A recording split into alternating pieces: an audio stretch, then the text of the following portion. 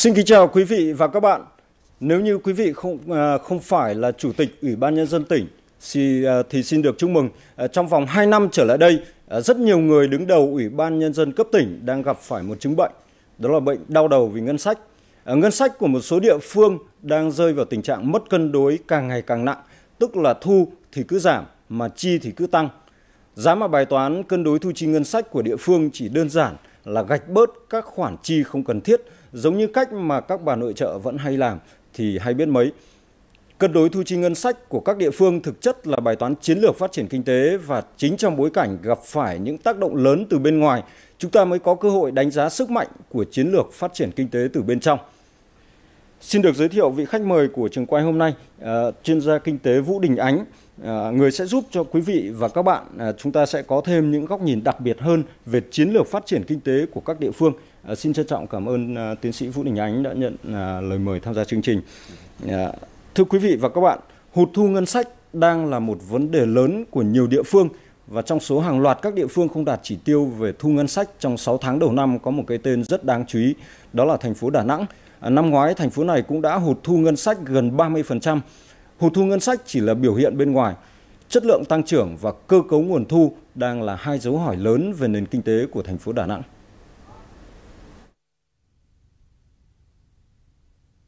Thông số như chỉ số phát triển công nghiệp, tăng trưởng tín dụng hay tăng thu ngân sách, nhưng mỗi con số đều có một tiếng nói riêng. Nhìn lại bức tranh kinh tế Đà Nẵng, có thể thấy không phải đến bây giờ mà sự suy giảm đã bộc lộ từ năm ngoái khi chi vượt xa thu với chênh lệch đến 3.600 tỷ đồng. Và cũng năm ngoái, nhiều chỉ tiêu quan trọng về kinh tế, Đà Nẵng cũng không đạt được. 6 tháng đầu năm 2013, tuy chỉ số công nghiệp của Đà Nẵng có tăng nhờ một số dự án mới mở rộng quy mô đầu tư và một số ngành như da dày, may mặc tăng trưởng khá, song năng lực sản xuất công nghiệp vẫn chưa thật sự tăng trưởng như thời điểm trước ảnh hưởng của suy thoái kinh tế. Các ngành chế biến thủy sản xi măng tăng trưởng thấp, nhiều doanh nghiệp chấp nhận hoạt động cầm chừng để giữ chân người lao động. Theo tôi thì nó cũng còn nhiều khó khăn bởi vì tình hình những cái vấn đề gốc của cái nền kinh tế hiện nay chúng ta chưa giải quyết được. Có một thực tế cần nhìn nhận, dù được đánh giá là đầu tàu của vùng kinh tế trọng điểm miền Trung, nhưng nền kinh tế Đà Nẵng vẫn chưa hé lộ một cơ cấu kinh tế phù hợp. Sự phụ thuộc vào nguồn thu từ khai thác quỹ đất trong nhiều năm liền đã khiến Đà Nẵng lâm vào khó khăn khi thị trường bất động sản ngủ sâu triền miên. Con số 20.000 tỷ đồng có được từ nguồn khai thác quỹ đất trong giai đoạn 2003 đến 2011 là kết quả rất ấn tượng. Tuy nhiên, 6 tháng đầu năm nay, con số này chỉ còn 785 tỷ đồng. Bù vào đó, Đà Nẵng đã nỗ lực trong kích cầu đầu tư, nhưng do tình hình khó khăn chung, tổng nguồn vốn FDI cho đến nay chỉ khoảng 1,6 tỷ đô la Mỹ, trong khi vốn đầu tư toàn xã hội lại giảm đến 23%. Thực tế này cho thấy khả năng hấp thụ vốn của nền kinh tế Đà Nẵng là rất thấp, thể hiện qua chỉ số tăng trưởng tín dụng. Với cái à, kết quả 6 tháng đầu năm tăng trưởng tín dụng chỉ đạt được 3,1% và à, theo cá nhân tôi thì à, yếu tố này nó sẽ tác động đến cái chỉ tiêu tăng trưởng trong 6 tháng cuối năm của thành phố. Cái tình hình là tiêu thụ sản phẩm là rất là khó khăn, cho nên họ thu cái việc hoàn vốn của họ rất là khó. Cho nên họ cứ ngồi hiện nay là đang ngồi chờ co cụm ngồi chờ thời chứ chưa chưa chưa bỏ vốn ra. Và với cái tình trạng này đây là một cái cái cái cái, cái hiện tượng. Nhưng mà nếu mà trở thành một cái xu hướng thì đấy là một cái điều rất là gai cho cái nền kinh tế chúng ta. Tổng thu ngân sách nhà nước của Đà Nẵng từ đầu năm đến nay chỉ đạt 5.200 tỷ đồng, tương đương 44% dự toán cả năm. Ở chiều ngược lại, thì tổng chi cũng đã 7.620 tỷ đồng, đạt 56,4% dự toán. Báo cáo của Hội đồng Nhân dân trong tháng 6 vừa qua cũng đã chỉ ra một điểm sáng, đó là số thu từ nội địa vẫn tăng khá, trong đó ngành du lịch dịch vụ có sự nổi trội với mức tăng trưởng trên 16% với trên 3.600 tỷ đồng. Rõ ràng không chỉ trông cậy vào khai thác quỹ đất, nền kinh tế Đà Nẵng vẫn có lối ra nếu như khai thác tốt lợi thế của mình. Nhiều ý kiến cho rằng, thời gian tới cùng với việc tập trung cải thiện môi trường kinh doanh cho doanh nghiệp, thì việc hình thành các ngành kinh tế mũi nhọn là điều tối quan trọng để Đà Nẵng có được một nền kinh tế phát triển trong thế ổn định. Trước mắt là xử lý các yếu tố tác động xấu đến môi trường đầu tư, nâng cao chỉ số PCI, đặc biệt chú ý đến chính sách hỗ trợ mới cho doanh nghiệp. Để giúp cho doanh nghiệp có thể là uh, dễ dàng trong các hoạt động mà sản xuất kinh doanh để có thể là làm ra ra lãi à, rồi nộp thuế thuế các cái loại thuế trong đó có thuế thu nhập doanh nghiệp à, thì như thế thì cái nguồn thu của thành phố mới bền vững. Trong 6 tháng còn lại của năm 2013, áp lực đã đặt ra nhiều hơn khi nhiều quy định về giảm thuế bắt đầu có hiệu lực, khởi điểm thuế thu nhập cá nhân tăng lên. Như vậy, nguồn thu sẽ tiếp tục bị hụt thêm trong nửa năm còn lại. Do đó, ngoài giải pháp tiết kiệm chi thêm 10% nữa, thì Đà Nẵng sẽ phải đẩy mạnh khai thác tối đa các nguồn thu. Chúng tôi à, cũng tập trung rà soát lại à, toàn bộ cái à, nhà công sản, nhà công sở trên địa bàn cũng như là tất cả các cái đất mà đã giao cho các cái dự án cho các nhà đầu tư. Mà hiện nay là chưa triển khai thì sẽ xem xét để phân loại à, những cái dự án nào có khả năng triển khai thì sẽ yêu cầu nhà đầu tư là báo cáo và có cái cam kết thời hạn còn nếu không có thời hạn hoặc không có khả năng thì chúng tôi sẽ thu hồi trở lại để cho đấu giá và tiếp tục ừ, thu hồi vào cho ngân sách sau lưng tôi là trụ sở Sở Tư pháp thành phố Đà Nẵng. Đây là một trong 12 nhà công sản và công sở vừa được thành phố Đà Nẵng cho chủ trương bán đấu giá. Ừ, một trong những giải pháp nhằm tăng thu từ đây cho đến cuối năm. Câu hỏi đặt ra là sau khi Đà Nẵng thực hiện khá triệt để những giải pháp tăng thu từ khai thác thuộc quỹ đất thì Đà Nẵng trong thời gian đến làm gì để có một nguồn thu ổn định? Đây quả thật là một câu hỏi không hề dễ dàng. Tuy nhiên theo các chuyên gia kinh tế thì ngay từ bây giờ Đà Nẵng cần phải xác định một chiến lược, một lộ trình phát triển kinh tế một cách hợp lý trên cơ sở khai thác tốt tiềm năng hiện có của mình. Đây là điều rất quan trọng để mình Đà Nẵng có thể thoát khỏi tình trạng là tăng trưởng thiếu ổn định như hiện nay. Vâng, ờ, thưa tiến sĩ Vũ Đình Ánh, ờ, vừa rồi chúng ta cũng vừa xem thì rõ ràng ờ, Sở Tư pháp của thành phố cũng có một cái vị trí rất là đẹp và rất nhiều trụ sở khác của thành phố Đà Nẵng của các cái cơ quan ban ngành cũng có trụ sở đẹp thì sẽ phải di rời để nhường đất cho cái hoạt động bán đấu giá. Thì bán đấu giá có nghĩa là ai trả nhiều tiền thì thì sẽ vào vị trí đó và có vẻ như là Đà Nẵng đang gửi đi một cái thông điệp là à, những vị trí tốt nhất, đẹp nhất, đắc địa nhất sẽ dành cho những người có nhiều tiền. Ngoài ra thì ngoài cái thông điệp này thì ông còn nhận thấy một cái thông điệp nào khác không? Ở cái câu chuyện gọi là bán đấu giá các cái trụ sở. À, tôi cho rằng là trước hết cái việc là bán đấu giá các trụ sở như trong à, phóng sự vừa qua của Đà Nẵng thì à, trước hết chúng ta tôi cho rằng cái nguyên nhân đầu tiên nó liên quan tới cái à, quy hoạch về các cái trụ sở các cơ quan công quyền ở thành phố Đà Nẵng. À, gần đây thì chúng ta cũng biết Đà Nẵng cũng đã xây được một cái tòa nhà khá là cao và họ dự định sẽ tập trung các cái cơ quan công quyền vào địa điểm đó. Ừ. Thì đó có thể là cái nguyên nhân đầu tiên bắt nguồn từ cái quy hoạch. À, nguyên nhân thứ hai thì uh, do cái uh, truyền thống trước đây thì ờ, các cái cơ quan công quyền chúng ta hầu hết thì nằm ở những cái khu vực mà ở đó cũng đồng thời là những khu vực buôn bán kinh doanh sầm uất là trong trung tâm à, của các cái thành phố mà liên quan đến trung tâm kinh doanh. À, thế thì hiện nay chúng ta cũng có cái chủ trương tức là chuyển những cái trung tâm uh, kinh doanh đấy về thật sự là trung tâm kinh doanh. Thế còn các cái trung tâm liên quan đến chính trị thì chúng ta có thể là đưa sang một khu vực khác. Thì tôi cho rằng đây cũng có thể là một cái động cơ thứ hai. À, một cái động cơ thứ ba thì ngay trong phóng sự cũng đã trình bày à, dường như là để uh, đối phó với câu chuyện trước mắt khi mà cái nguồn thu đang sụt giảm khá là mạnh à, mà đặc biệt các cái nguồn thu đó thì lại hầu hết trước đó lại trông chờ vào đất đai thì uh, lần này họ cũng đẩy mạnh thêm cái câu chuyện tức là xử lý các cái trụ sở đó để làm sao mà cải thiện được cái nguồn thu thông qua bán đấu giá những miếng đất đó và như vậy thì tôi cho rằng à, để mà đạt được cả mục tiêu ngắn hạn cũng như có thể là cả mục tiêu dài hạn như vậy thì cái việc mà chuyển các cái trụ sở đó mà đặc biệt là như ông nói tức là những nơi có cái mảnh đất vàng hay là à, dành cho những người phải có rất nhiều tiền có thể sử dụng cái đấu giá đó được à, tham gia vào đó được thì tôi cho rằng cũng khá là hợp lý từ cái khía cạnh quy hoạch cũng như là khía cạnh về kinh tế. À, có một câu hỏi đặt ra là những người nhiều tiền họ sẽ mua đất ở Đà Nẵng hay bất kể một cái địa phương nào đó mà có tổ chức đấu giá thì họ sẽ mua đất để làm gì nếu không phải là để bán đi kiếm lời À, tôi cho rằng là trước hết thì ờ, chúng ta cũng ờ, xác định là cái người nhiều tiền theo cái khái niệm chúng ta đang trao đổi đây là chúng ta đang muốn nói đến à, những ai. À, trước hết thì tôi cho rằng chúng ta à, có những người họ nhiều tiền do họ có những hoạt động sản xuất kinh doanh đấy là cái nhóm đầu tiên. À, cái nhóm thứ hai có những người nhiều tiền có thể do một cái lý do nào đó mà có thể là không hẳn liên quan đến sản xuất kinh doanh. Và chúng ta cũng không ngoại trừ có những người nhiều tiền à, cũng không phải hẳn là sản xuất kinh doanh mà người ta có thể thông qua một quá trình đầu cơ nào đấy chẳng hạn tôi nói ví dụ như vậy. Ừ. vậy thì đối với từng nhóm như vậy họ sẽ tiếp cận với những cái miếng đất đắt giá như là chúng ta đang bàn ở đây à, với những động cơ và động lực khác nhau. À, đối với nhóm sản xuất kinh doanh thì à, tôi cho rằng chắc chắn là họ sẽ nhằm mục tiêu có thể là họ sẽ trực tiếp đầu tư sản xuất ở đó đúng không ạ? Họ có thể là cho thuê hay là áp dụng các biện pháp khác để tìm kiếm lợi nhuận.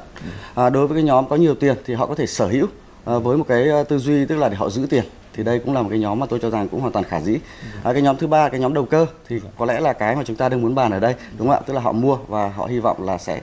sẽ bán lại với một mức giá cao hơn. Đặc biệt ví dụ như trong cái thời gian à, mấy năm trước đây, chúng ta thấy là thị trường bất động sản bùng nổ đúng không ạ? Cứ à, mua nhà trong một thời gian ngắn thôi, mua bất động sản trong một thời gian ngắn là có thể lãi được đến thậm chí gấp rưỡi gấp đôi. Và như vậy thì nó tạo ra một cái hấp lực và dường như là cái đó tôi cho rằng nó cũng trả giá cho chúng ta một cái là gần như chúng ta tạo ra một cái bong bóng bất động sản. Và cái hình ảnh bong bóng bất động sản đấy thì tôi cho rằng à, có lẽ ở Đà Nẵng là một cái bong bóng có vẻ là to hơn và khá điển hình hơn chỉ không chỉ là nhìn về cái tổng quan về kinh tế vâng. mà chúng ta còn nhìn thấy cả cảnh quan. Xin, xin uh, nhắc lại với ông chủ đề của chúng ta chính là câu chuyện về ngân sách hiện nay và cái nguồn thu từ đất đang là một trong những cái nguồn thu mà lớn của rất nhiều địa phương và đối với riêng Đà Nẵng thì có những năm nguồn thu từ đất chiếm đến 70% và trung bình là vào khoảng từ 45 cho đến 50%. À, tôi muốn mời ông cùng theo dõi một cái biểu đồ về cơ cấu nguồn thu ngân sách của thành phố Đà Nẵng trong à, một cái năm có thể là là cái năm đỉnh cao về kinh tế của thành phố Đà Nẵng và à, từ đó chúng ta sẽ nhìn xem xem là vậy thì cái nguồn thu này liệu nó có kéo dài được chừng nào được bao nhiêu lâu và cái câu chuyện thu ngân sách của Đà Nẵng. Vâng. Vâng.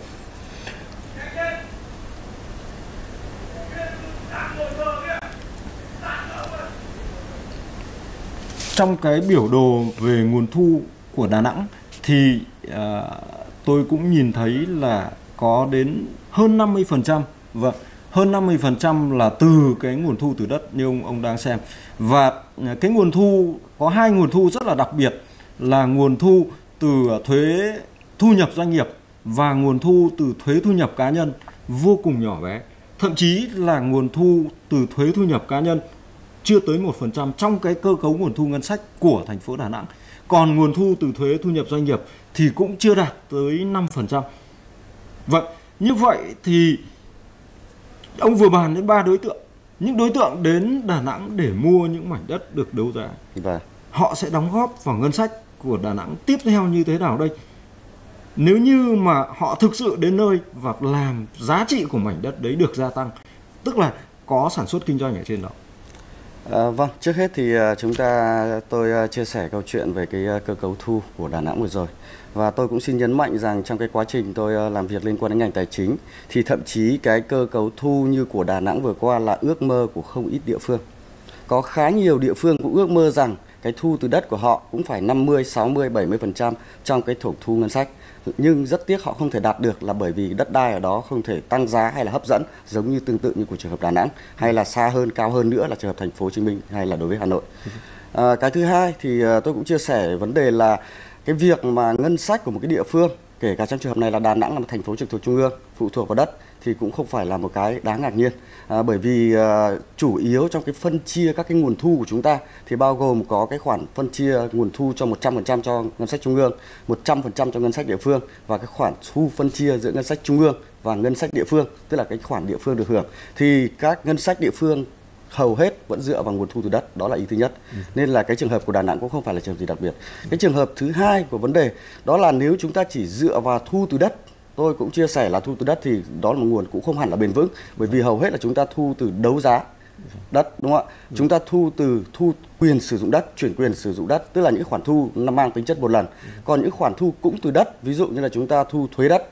ví dụ như chúng ta thu từ tiền thuê đất thì chuyển đổi mục đích sử dụng dạ vâng. thì tức là chúng ta phân biệt là thu từ đất thì có hai ừ. loại tức là một cái loại là thu một lần và một cái loại là chúng ta thu thường xuyên thế thì chính cái khoản thu thường xuyên từ đất mới là cái khoản tốt. Và các cái khoản mà nó thu gắn với cái việc người ta sở hữu đất À, tôi tôi xin lỗi chúng ta không được gọi là sở hữu đất mà người ta nắm cái quyền sử dụng đất. Thì nếu như trên đó người ta phát triển các hoạt động sản xuất kinh doanh kể cả công nghiệp nông nghiệp hay dịch vụ và tiếp tục họ tạo ra nguồn thu thì tôi cho rằng đó mới là những nguồn thu bền vững nhất. Còn nếu như sau cái quá trình đó chúng ta chỉ thu được đất đai một lần thì rõ ràng đó là nguồn thu không bền vững. Và tôi cho rằng dường như cái giá phải trả cho cái việc là chúng ta đang hụt thu. Trường hợp như của Đà Nẵng riêng biệt ở đây thì tôi cho rằng cũng là cái giá mà chúng ta đang phải trả cho cái vấn đề là thiếu bền vững chung trong cái vấn đề thu ngân sách trong đó có cái khoản thu từ đất. Nhưng bản chất của cái nguồn thu này có được tạo ra từ đất hay không thì nếu quan sát kỹ bản chất của nó lại chính là chiến lược phát triển kinh tế. Tức là phát triển ngành nghề gì trên những cái mảnh đất đó trên những cái địa bàn đó và ở thành phố thì thực sự là không phải là không nhìn thấy một cái chiến lược. Đó là chiến lược phát triển về du lịch và dịch vụ rất là rõ ràng. Nhưng cái nguồn thu về về du lịch và dịch vụ có vẻ nó không tăng trưởng, không tương xứng với cái nguồn chi mà thành phố đã chi vào để làm gia tăng giá trị đất đai. Thì ông ông thấy rằng là cái cái cái cái, trong cái cơ cấu về về về đầu tư, nó bộc lộ như thế nào về cái cái cái cái cái cái cái chiến lược phát triển kinh tế của nó?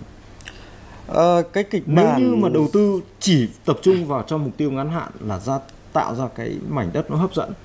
thì sẽ đầu tư khác. Và nếu tập trung để cho cái mảnh đất đấy nó lại tiếp tục sản sinh ra những cái giá trị gia tăng thì cái đầu tư của thành phố này nó sẽ khác. Ờ, tôi cho rằng là ở đây có lẽ là chúng ta cũng ờ, tách biệt ra một chút vấn đề. À, cái vấn đề thứ nhất là chúng ta đang bàn tới các cái khoản thu về đất và trong đó thì liên quan tới cái việc là à, cái khoản thu này nó đã bắt đầu sụt giảm khi mà những cái khoản thu đó nó không mang tính bền vững. Cái thứ hai nữa là cái khoản thu đó nó dựa trên cái nền tảng là thị trường bất động sản, à, kể cả thị trường của Đà Nẵng hay là thị trường bất động sản chung của cả nước chúng ta đang trong cái dọn đóng băng khá là dài. Và như vậy cái cơ hội cái khả năng thu từ đất trực tiếp từ đất hay là từ ờ, trực tiếp từ bất động sản là khó khăn. Đây là một cái vấn đề chung. À, cái vấn đề thứ hai nữa là trong một thời gian khá dài tôi cho rằng Đà Nẵng đã thành công trong việc họ khai thác nguồn thu từ đất đai. Chỉ có điều vấn đề là họ đã sử dụng nó vào việc gì? Thì rõ ràng cái phần lớn nhất trong cái việc đầu tư đó đó là Đà Nẵng đã sử dụng nguồn thu từ đất đai vào cơ sở hạ tầng và tôi cho rằng đây cũng là một cái thành công cũng đáng ghi nhận của Đà Nẵng khi mà có những đánh giá cho rằng Đà Nẵng là một cái thành phố đáng sống nhất Việt Nam tôi không rõ đây cũng không hẳn là chính thức nhưng mà tuy nhiên thì đây là một cái đánh giá khá cao ý kiến nhé. và vâng và khá nhiều những cái biến thay đổi của Đà Nẵng mà tôi đánh giá rất cao và cái nguồn thu đó là từ đất đai. À, tôi cũng hoàn toàn chia sẻ với anh có lẽ là không dừng lại ở đó. Nếu chúng ta khai thác một cái nguồn thu mang cái tính chất không bền vững và dường như nó phụ thuộc khá nhiều vào cái sự lên xuống của một cái thị trường rất là đỏng đảnh như là thị trường bất động sản, thì rõ ràng chúng ta sẽ phải có một cái cách thức chi cái nguồn thu được đó làm sao để tạo ra một cái hiệu quả bền vững mà như ờ, dân tài chính chúng tôi hay gọi tức là chúng ta tìm cách nuôi dưỡng nguồn thu để có những nguồn thu bền vững. Và trong cái nuôi dưỡng nguồn thu đó thì chắc chắn có ý như ông nói khi Đà Nẵng đã xác định một cái chiến lược phát triển dịch vụ thì gắn với cái vấn đề chiến lược phát triển dịch vụ và có tạo ra cái cơ sở để chúng ta có thể thu được từ cái chiến lược kinh tế đó của chúng ta tức là phát triển dịch vụ thì rõ ràng cái nguồn thu từ đất đai đó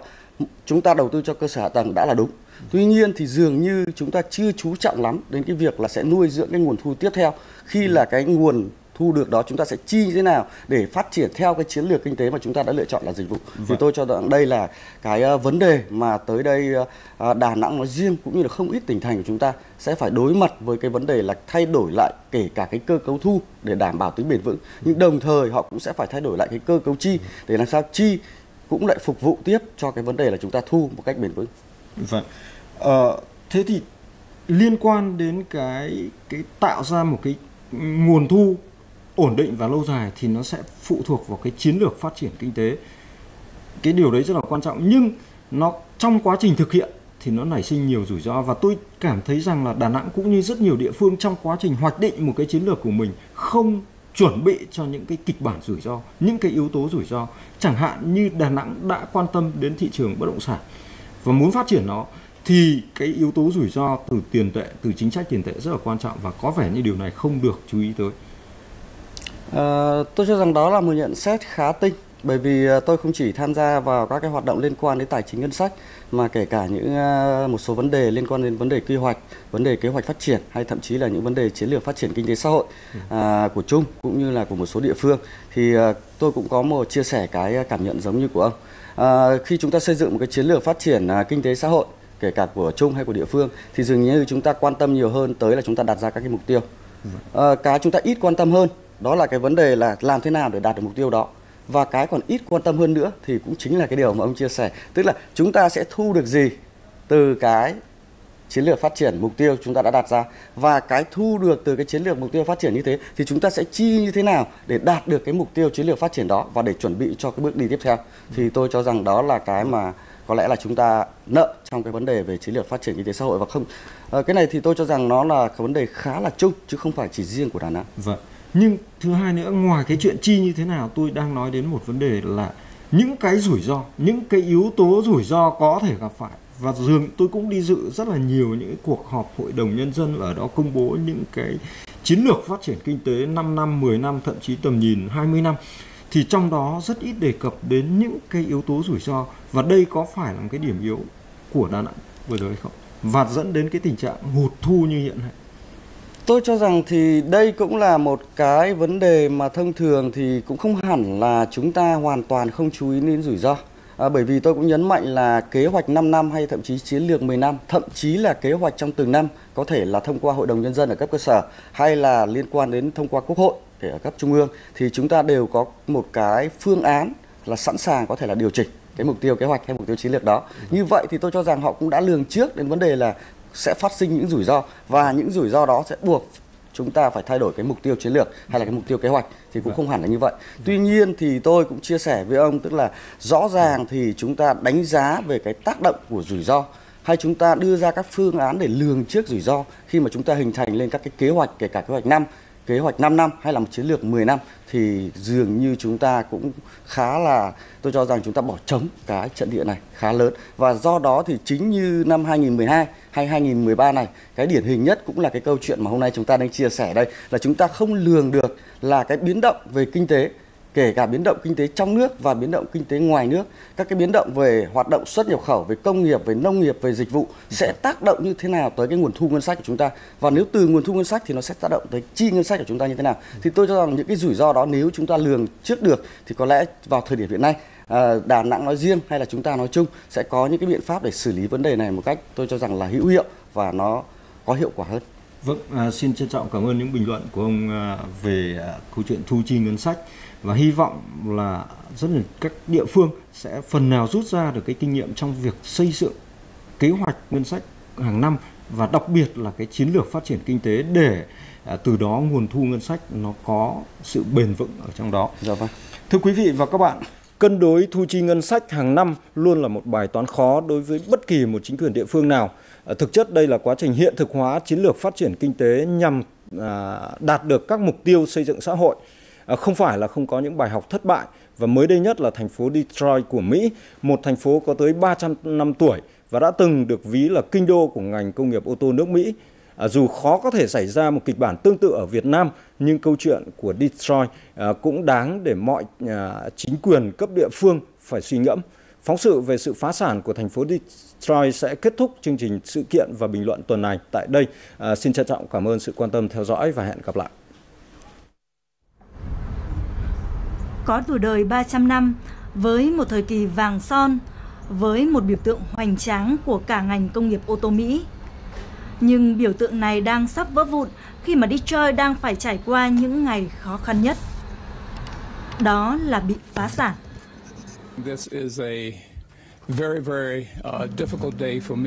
Đây là một ngày rất khó khăn với tôi và tôi cũng nghĩ đó là khó khăn với tất cả những người dân ở thành phố này. Khi tôi tiếp quản vị trí này 4 năm trước, tôi cũng đã nói rằng thành phố đang khủng hoảng tài chính và chúng tôi đã cố gắng để thoát khỏi tình trạng huống này. Tuy nhiên, đúng là không thể.